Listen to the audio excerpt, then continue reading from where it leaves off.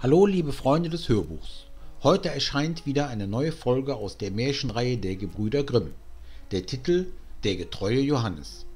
Wenn euch unsere Hörbücher gefallen, würden wir uns über ein Like oder sogar über ein Abo riesig freuen. Und jetzt viel Spaß beim Zuhören. Es war einmal ein alter König, der war krank und dachte, es wird wohl das Totenbett sein, auf dem ich liege.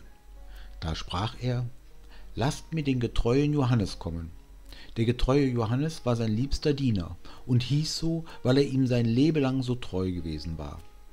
Als er nun vor das Bett kam, sprach der König zu ihm, Getreuster Johannes, ich fühle, dass mein Ende herannaht, und da habe ich keine andere Sorge als um meinen Sohn. Er ist noch in jungen Jahren, wo er sich nicht immer zu raten weiß.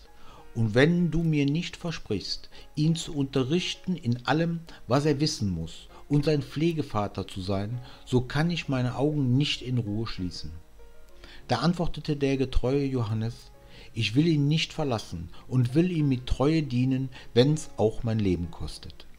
Da sagte der alte König, so sterb ich getrost und in Frieden, und sprach dann weiter, nach meinem Tode sollst du ihm das ganze Schloss zeigen, alle Kammern, Säle und Gewölbe und alle Schätze, die darin liegen aber die letzte Kammer in dem langen Gange sollst du ihm nicht zeigen, worin das Bild der Königstochter vom goldenen Dache verborgen steht.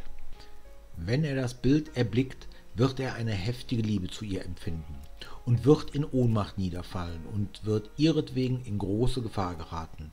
Davor sollst du ihn hüten.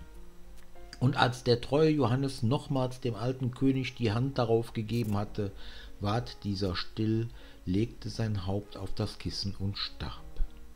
Als der alte König zu Grabe getragen war, da erzählte der treue Johannes dem jungen König, was er seinem Vater auf dem Sterbelager versprochen hatte, und sagte, das will ich gewisslich halten und will dir treu sein, wie ich ihm gewesen bin, und sollte es mein Leben kosten.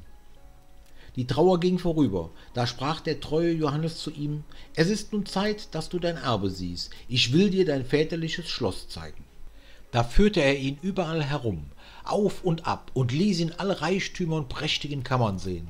Nur die eine Kammer öffnete er nicht, worin das gefährliche Bild stand. Das Bild war aber so gestellt, dass, wenn die Türe aufging, man gerade darauf sah, und war so herrlich gemacht, dass man meinte, es leibte und lebte, und es gäbe nichts Lieblicheres und Schöneres auf der ganzen Welt. Der junge König aber merkte wohl, dass der getreue Johannes immer an einer Tür vorüberging und sprach, Warum schließest du mir diese niemals auf? Es ist etwas darin, antwortete er, vor dem du erschrickst. Aber der König antwortete, ich habe das ganze Schloss gesehen, so will ich auch wissen, was darin ist, ging und wollte die Türe mit Gewalt öffnen.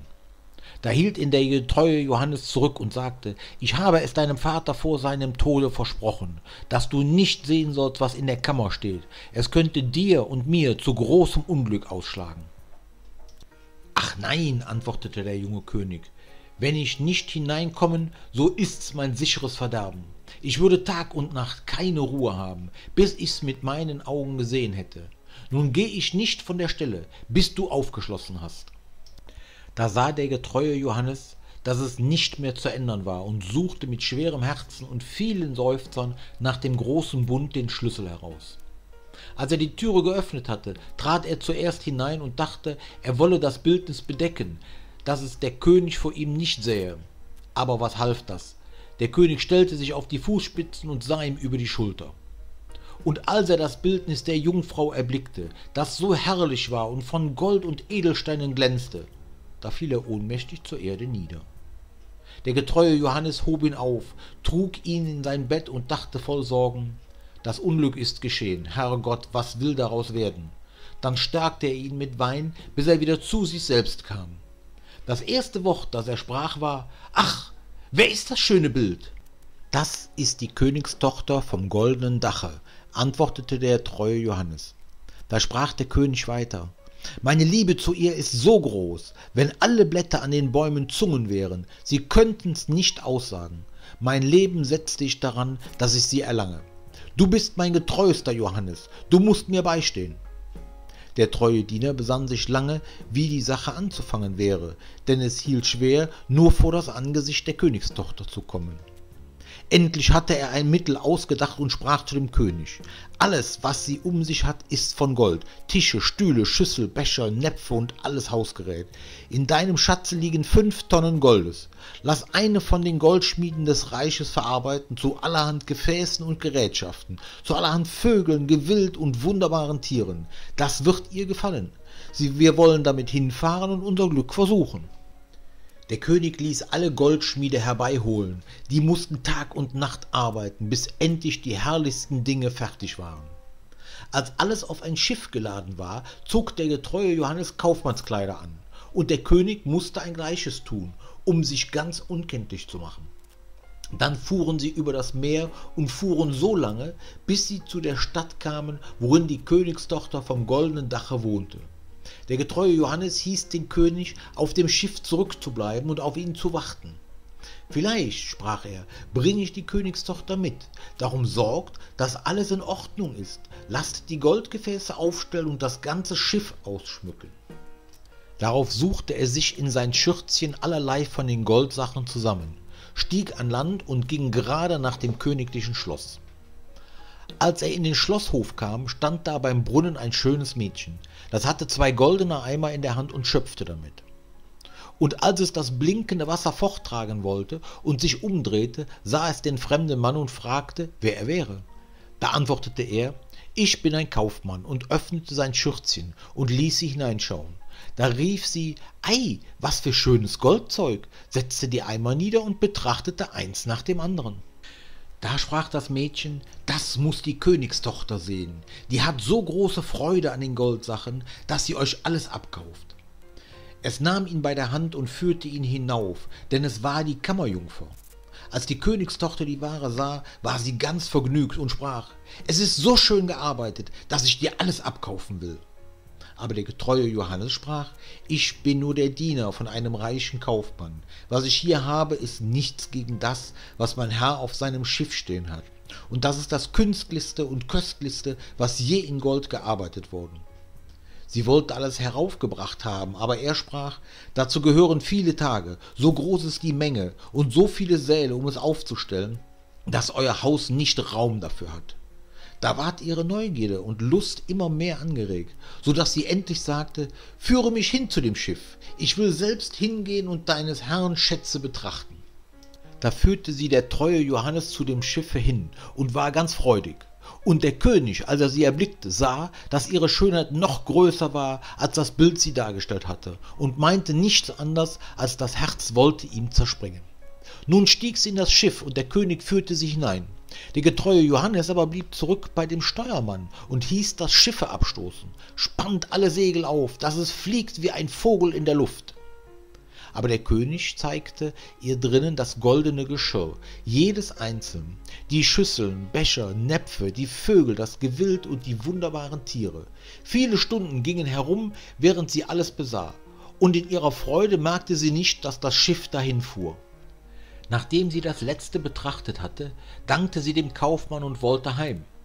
Als sie aber an des Schiffes Rand kam, sah sie, dass es fern vom Land auf hohe Meere ging und mit vollen Segeln forteilte. Ach, rief sie erschrocken, ich bin betrogen, ich bin entführt und in der Gewalt eines Kaufmanns geraten. Lieber wollte ich sterben. Der König aber fasste sie bei der Hand und sprach, ein Kaufmann bin ich nicht, ich bin ein König und nicht geringer an Geburt, als du es bist aber dass ich dich mit List entführt habe, das ist aus übergroßer Liebe geschehen. Das erste Mal, als ich dein Bildnis gesehen habe, bin ich ohnmächtig zur Erde gefallen. Als die Königstochter vom goldenen Dache das hörte, ward sie getröstet, und ihr Herz ward ihm geneigt, so dass sie gerne einwilligte, seine Gemahlin zu werden. Es trug sich aber zu, während sie auf dem Meere dahinfuhren, dass der Johannes, als er vorn auf dem Schiffe saß, und Musik machte, in der Luft drei Raben erblickte, die dahergeflogen kamen. Da hörte er auf zu spielen und horchte, was sie miteinander sprachen, denn er verstand das wohl. Der eine rief, Ei, da führt er die Königstochter vom goldenen Dache heim. Ja, antwortete der zweite, er hat sie noch nicht, sprach der dritte, er hat sie doch, sie sitzt bei ihm im Schiffe. Da fing der erste wieder an und rief, Was hilft ihm das? Wenn sie ans Land kommen, wird ihm ein fuchsrotes Pferd entgegenspringen. Da wird er sich aufschwingen wollen, und tut er das, so sprengt es mit ihm fort und in die Luft hinein, dass er nimmermehr seine Jungfrau wiedersieht. Sprach der zweite, ist gar keine Rettung. O ja, wenn ein anderer schnell aufsitzt, das Feuergewehr, das ihm in den Halftern stecken muss, herausnimmt und das Pferd damit totschießt, so ist der junge König gerettet. Aber wer weiß das? Und wer's weiß und sagt's ihm, der wird zu Stein von den Fußzehen bis zum Knie. Da sprach der zweite, ich weiß noch mehr. Wenn das Pferd auch getötet wird, so behält der junge König doch nicht seine Braut. Wenn sie zusammen ins Schloss kommen, so liegt dort ein gemachtes Brauthemd in einer Schüssel und sieht aus, als wär's von Gold und Silber gewebt. Ist aber nichts als Schwefel und Pech. Wenn er's antut, verbrennt es ihn bis auf Mark und Knochen. Sprach der dritte, ist gar keine Rettung. O ja, antwortete der zweite, wenn einer mit Handschuhen das Hemd packt und wirft es ins Feuer, dass es verbrennt, so ist der junge König gerettet. Aber was hilft's? Wer es weiß und es ihm sagt, der wird halbes Leibes Stein vom Knie bis zum Herzen. Da sprach der dritte, ich weiß noch mehr. Wird das Brauthemd auch verbrannt, so hat der junge König seine Braut doch noch nicht. Wenn nach der Hochzeit der Tanz anhebt und die junge Königin tanzt, wird sie plötzlich erbleichen und wie tot hinfallen. Und hebt sie nicht einer auf und zieht aus ihrer rechten Brust drei Tropfen Blut und speit sie wieder aus, so stirbt sie. Aber verrät das einer, der es weiß, so wird er ganzes Leibes zu Stein vom Wirbel bis zur Fußzehe. Als die Raben das miteinander gesprochen hatten, flogen sie weiter, und der getreue Johannes hatte alles wohl verstanden. Aber von der Zeit an war er still und traurig. Denn verschwieg er seinem Herrn, was er gehört hatte, so war dieser unglücklich. Entdeckte er es ihm, so musste er selbst sein Leben hingeben. Endlich aber sprach er bei sich, meinen Herrn will ich retten, und sollte ich selbst darüber zugrunde gehen. Als sie nun ans Land kamen, da geschah es, wie die Raben vorhergesagt hatten und es sprengte ein prächtiger, fuchsroter Gaul daher. Wohlan, sprach der König, der soll mich in mein Schloss tragen und wollte sich aufsetzen, doch der getreue Johannes kam ihm zuvor, schwang sich schnell drauf, zog das Gewehr aus den Halftern und schoss den Gaul nieder. Da riefen die anderen Diener des Königs, die dem treuen Johannes doch nicht gut waren, wie schändlich das schöne Tier zu töten, das den König in sein Schloss tragen sollte. Aber der König sprach, Schweigt und lasst ihn gehen, es ist mein getreuester Johannes, wer weiß, wozu es gut ist. Nun gingen sie ins Schloss, und da stand im Saal eine Schüssel, und das gemachte Brauthemd lag da und sah aus nicht anders, als wäre es von Gold und Silber. Der junge König ging darauf zu und wollte es ergreifen, aber der treue Johannes schob ihn weg, packte es mit den Handschuhen an, trug es schnell ins Feuer und ließ es verbrennen. Die anderen Diener fingen wieder an zu murren und sagten, Seht, nun verbrennt er gar des Königs Brauthemd. Aber der junge König sprach, Wer weiß, wozu es gut ist, lasst ihn gehen, es ist mein getreuester Johannes. Nun ward die Hochzeit gefeiert. Der Tanz hub an und die Braut trat auch hinein. Da hatte der getreue Johannes Acht und schaute ihr ins Antlitz. Auf einmal erbleichte sie und fiel wie tot zur Erde. Da sprang er eilends hinzu, hob sie auf und trug sie in eine Kammer. Da legte er sie nieder, kniete und sog drei Blutstropfen aus ihrer rechten Brust und speite sie aus. Alsbald atmete sie wieder und erholte sich, aber der junge König hatte es mit angesehen und wusste nicht, warum es der getreue Johannes getan hatte, ward zornig darüber und rief, werft ihn ins Gefängnis. Am anderen Morgen ward der getreue Johannes verurteilt und zum Galgen geführt. Und als er oben stand und gerichtet werden sollte, sprach er, jeder, der sterben soll, darf vor seinem Ende noch einmal reden. Soll ich das Recht auch haben? Ja, antwortete der König, es soll dir vergönnt sein. Da sprach der getreue Johannes, ich bin mit Unrecht verurteilt und bin mit dir treu gewesen. Und erzählte, wie er auf dem Meer das Gespräch gehört und wie er, um seinen Herrn zu retten, das alles hätte tun müssen. Da rief der König, O mein getreuster Johannes, Gnade, Gnade, führt ihn herunter. Aber der treue Johannes war bei dem letzten Wort, das er geredet hatte, leblos herabgefallen und war ein Stein. Darüber trug nun der König und die Königin großes Leid, und der König sprach, Ach, was habe ich große Treue so übel belohnt? und ließ das steinerne Bild aufheben und in seine Schlafkammer neben sein Bette stellen. So oft er es ansah, weinte er und sprach, Ach, könnt ich dich wieder lebendig machen, mein getreuster Johannes. Es ging eine Zeit herum, da gebar die Königin Zwillinge, zwei Söhnlein, die wuchsen heran und waren ihre Freude. Einmal, als die Königin in der Kirche war und die zwei Kinder bei dem Vater saßen und spielten, sah dieser wieder das steinerne Bildnis voller Trauer an, seufzte und rief, Ach, könnt ich dich doch wieder lebendig machen, mein getreuster Johannes.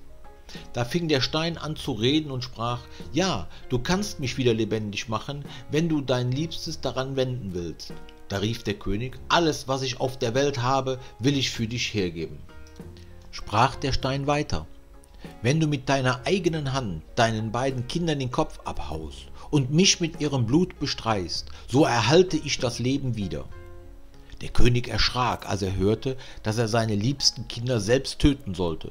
Doch er dachte an die große Treue und dass der getreue Johannes für ihn gestorben war, zog sein Schwert und hieb mit eigener Hand den Kindern den Kopf ab und als er mit ihrem Blute den Stein bestrichen hatte, so kehrte das Leben zurück, und der getreue Johannes stand wieder frisch und gesund vor ihm.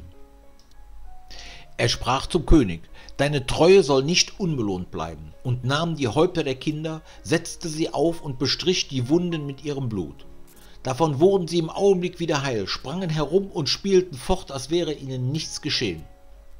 Nun war der König voller Freude, und als er die Königin kommen sah, versteckte er den getreuen Johannes und die beiden Kinder in einem großen Schrank. Wie sie hereintrat, sprach er zu ihr, Hast du gebetet in der Kirche? Ja, antwortete sie, aber ich habe beständig an den treuen Johannes gedacht, dass er so unglücklich durch uns geworden ist. Da sprach er, Liebe Frau, wir können ihm das Leben wiedergeben, aber es kostet uns unsere beiden Söhnlein, die müssen wir opfern. Die Königin ward bleich und erschrak im Herzen. Doch sprach sie, wir sind's ihm schuldig wegen seiner großen Treue. Da freute er sich, dass sie dachte, wie er gedacht hatte, ging hin und schloss den Schrank auf, holte die Kinder und den getreuen Johannes heraus und sprach, Gott sei gelobt, er ist erlöst und unsere Söhnlein haben wir auch wieder, und erzählte ihr, wie sich alles zugetragen hatte. Da lebten sie zusammen in Glückseligkeit bis an ihr Ende.